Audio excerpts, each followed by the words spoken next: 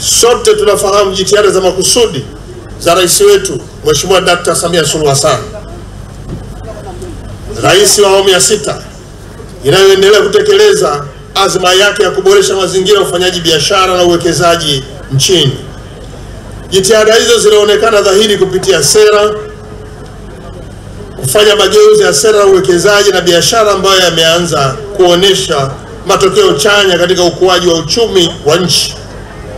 Serikali imeendelea kuboresha kituo cha uwekezaji Tanzania kwa kuimarisha kituo cha huduma za mahala pamoja ili kuvutia wawekezaji kwa kupunguza kero na kurahisisha utoaji huduma. Kutokana na maboresho hayo na mengine mengi, kumekuwa na ongezeko la usajili wa miradi ya uwekezaji ambapo katika kipindi cha mwaka 2021 hadi 2023 serikali imeweza kuvutia na kusajili jumla miradi ya uwekezaji 537 yenye thamani ya zaidi ya dola milioni 7222 inayotarajiwa kutoa ajira takriban 92770. Kiwango hiki ni kikubwa kuwahi kuandikwa katika kipindi chote tangu nchi yetu ilipopata uhuru mwaka 1961. Serikali kwa upande mwingine imeendeleza ujenzi wa mradi wa eneo la viwanda kule Kwala mkoani Pwani yenye eneo la ukubwa wa ekari 2500 na mtaji wa dola za Marekani milioni tatu zinazotarajiwa kuwekwa.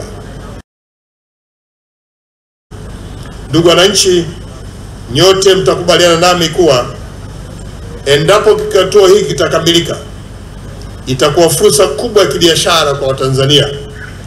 Naomba nizungumzie kwa kifupi faida ya uwepo wa kituo hiki. Moja, kituo hiki kitakuwa na maduka zaidi ya elfu mbili ambayo yatakuwa na ukubwa tofauti tofauti, yaani maduka madogo, maduka ya, u, ya ukubwa wa kati, lakini na maduka makubwa kabisa, na hivyo kuweza kukidhi mahitaji ya wafanyabiashara wa aina zote tulizonazo hapa nchini.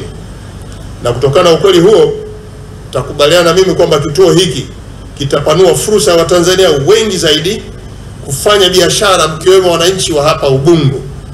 Lakini pia kituo hiki kitaajiri watumishi wengi zaidi. Mmesikia hapa ajira za kila siku zaidi ya hamsini elfu, lakini zile za, za, za papo kwa papo za kila siku ni zaidi ya kumi na tano elfu. Hii ni hatua mzuri. Nimefurahi sana kusikia kuwa kituo hiki kitatoa fursa kwa wafanyabiashara wadogo almaarufu wa machinga kufanya biashara zao katika eneo la nje baada ya kusitisha shughuli za kituo hiki ambacho kilikuwa kinafanya kazi hizo kila siku. Kitendo hiki ni cha kizalendo, kwani kinatoa fursa kwa Watanzania wenye kipato cha chini ambao hawatakuwa na uwezo wa kupata vizimba ndani na kunufaika na uwepo wa kituo hiki kwa kuweka biashara zao nje kwa muda watakaopangiwa. Pamoja na uwepo wa vyumba elfu mbili inawezekana wafanyabiashara kawa zaidi ya elfu mbili na ndio maana tunasema bado wamachinga watapata nafasi nje ya jengo hili kufanya biashara na wageni wanaoingia na kutoka. Vijana tuwapigie mengi sana sana.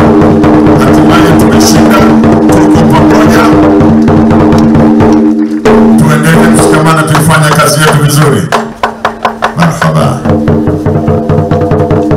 Tuwashangilie sana sana wanapoondoka ndani ya eneo hili.